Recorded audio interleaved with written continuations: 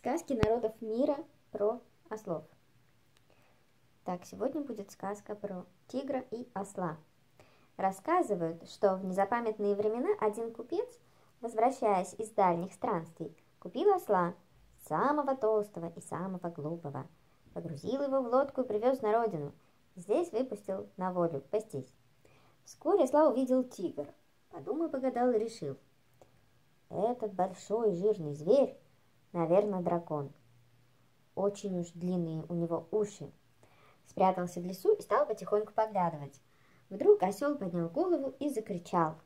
Рев раздался страшный. Тигр перепугался, отбежал подальше, думал, что осел его съест. Долго сидел в кустах, дрожал от страха. Потом выглянул. Осел ходит по лугу, травку щиплет. Тигр приободрился, подполз ближе. Ничего не случилось. Тогда он вышел на поляну и мяукнул тихонько. Осел рассверепел, захлопал ушами и заорал. «Э, да ты, видно, глуп, если сердишься из-за пустяка», — подумал тигр и мяукнул еще раз. В страшном гневе осел начал легаться.